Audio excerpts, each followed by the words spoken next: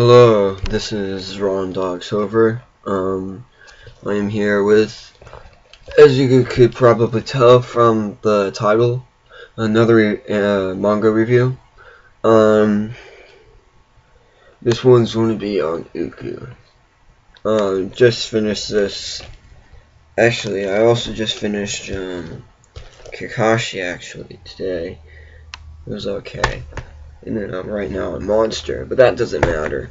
Um, this is going to be a review on this book, which um isn't really quite that new.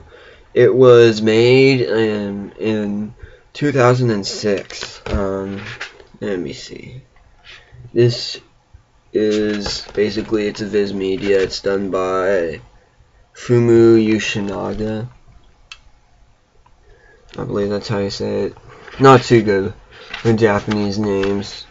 But if you remember from what I've said earlier with this, um, it was very nice quality, very well made. Um, as you can tell, I'll show you. Here, the first couple pages show just like some little colored parts of the main character in it. Um, and yeah, and it's got some uh, Us Osamu Tezuka Cultural Prize and uh, Eisner Award. Um, so that is quite impressive. Um, and um, so yeah, basically I'll just go with the overview of the story. It's a as you can tell, it's a Viz signature, if you can see the Viz signature there. And basically, so get into the story. So it basically this is set in uh, it. It says the Edo period of Japan, and that's basically it's when the shoguns and stuff. That's when they were that kind of era. So um, basically, um, this weird, strange disease hits people, um, target basically targeting males. Um, it's called the red face pox, and basically, it's starting to wipe out these men.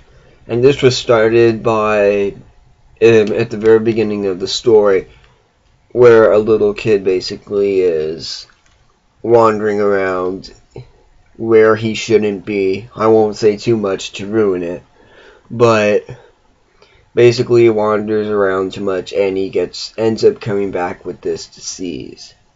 And the the parents didn't know what this disease was and ended up killing the, uh, the little boy. But then it started to spread and they found out that this was all started by their son.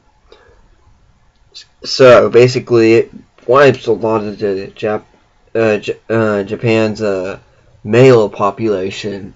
Not really any females apparently yet uh, get the disease.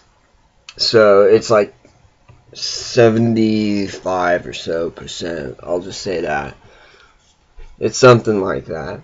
And uh, basically, because there's so many people that have been uh, um, affected by this, all the women are basically taking on the roles the men have, the traditional roles.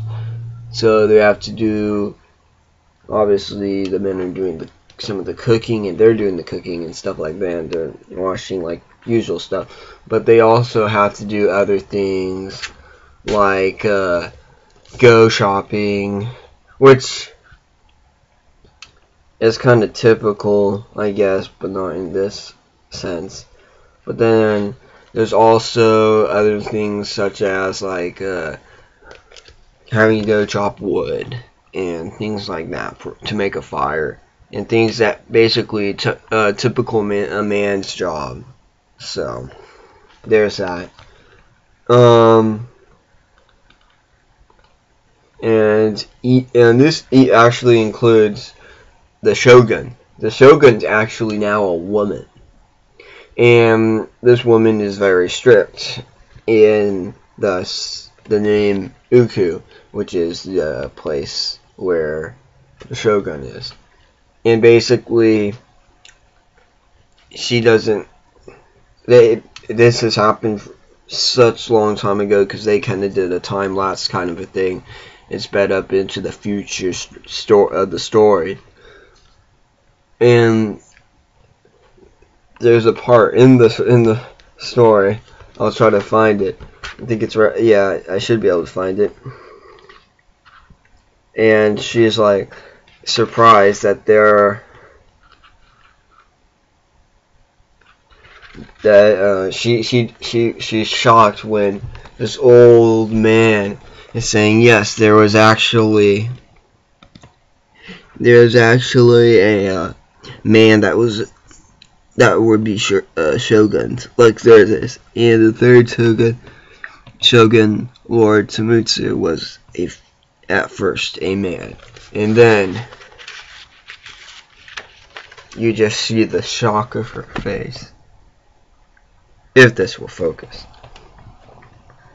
Yeah. So, as you see, she's like, wow. So, there's that. And that, I mean, that's at the very end, so that doesn't really matter too much. But anyways, the main character who is in the working class, basically, um, he realizes that he his family, which is really poor, needs to get mo more money. So he decides, okay, he'll go to this place called the Ooku, and basically the Ooku is where a whole bunch of shogun are. It's supposed to be where, like, supposedly the rumor is that three thousand men live there, and they are basically like samurai kind of stuff. They're they're bodyguards that know how to use a sword. So basically, he decides, okay, I'll do that. They send these people's family uh, like monthly pays and stuff of what these guys would be making. It's almost like a job, like you're getting a paycheck, but it's getting sent to their family, which is kind of nice. Um, so basically, he's he gets sent there, and he finds out this isn't quite what he is expecting it to be because he was expecting to be taught how to use a sword and all that kind of stuff. Almost like the stereotypical of uh, of like a boy's kind of uh, kind of fantasy kind of a thing in terms of war. Um, so basically, that's basically just about the gist of this whole thing. About, because this is the first volume. Now, I only found the first volume in this signature, this signature edition. I haven't seen an, any of the other volumes in any uh, editions anywhere. So, I don't know how popular this is, but I hadn't seen or heard of, of, this manga from anyone yet, so decided I would put this out there, mainly just so um, people have the idea of it. So, yeah. But it is definitely it's very good quality. This was it's it says the retail price is 13. I got it for um I got it for about 10 so I I didn't pay too much. Um but yeah I mean I'll show you like here's the cover. And it also goes with the little slip cover as you can see. So there's that part.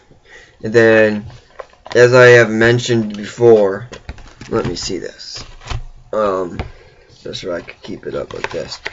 This part is actually really nice kind of paper that is see-through. So, I'm not sure if you could actually see it being see-through. But yeah, there you can see it on the back, so you can see it's kind of see-through. Anyways, and then obviously, like I said earlier, the artwork that is put there in the very beginning, and then it goes right into the story. One thing I forgot to mention is that they do talking almost like a Shakespearean kind of way, like especially in like the narrative and stuff. Well, actually, no, the narrative is quite formal, regular e English, but then they're talking formally like like there's one part that they're talking about Sadakichi, where art thou going? Not telling, tis my own secret place that nobody else knows. So it's almost like a so it's almost like it's an old style kind of like Shakespearean kind of a feel to it. So there's that too. So if you like that kind of stuff, there's that. And the artwork in here is really beautiful. Like that obviously the cover and the ones that I was showing it's it is very it is made very nicely. There is the back and it's showing that picture again except it's not in color now. Um and there's the back. So yeah. So it, it is a very nice uh